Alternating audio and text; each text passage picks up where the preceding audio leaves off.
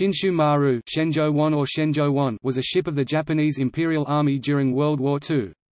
She was the world's first landing craft carrier ship to be designed as such, and a pioneer of modern-day amphibious assault ships.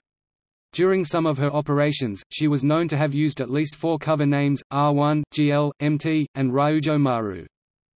The Shinshu Maru was one of the ships sunk by friendly torpedo fire at the Battle of Sunda Strait, but later salvaged and returned to service.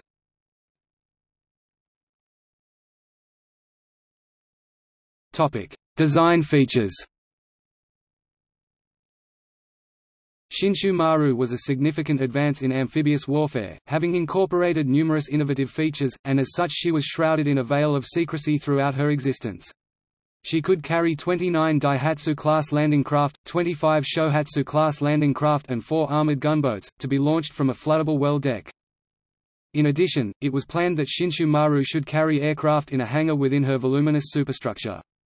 The aircraft would have been launched by two catapults to support amphibious assaults, but the catapults were removed before completion and the ship never carried any operational planes. These concepts pioneered by Shinshu Maru persist to the current day, in the U.S. Navy's LHA and LHD amphibious assault ships.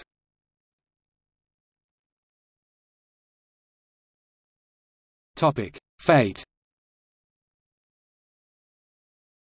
On 3 January 1945, while returning to Takao after a supply mission to Leyte Island, Shinshu Maru was heavily damaged by a U.S. air attack by Task Force 38. After the ship was abandoned she was sunk by the submarine USS Aspro in the Formosa Straits off Takao.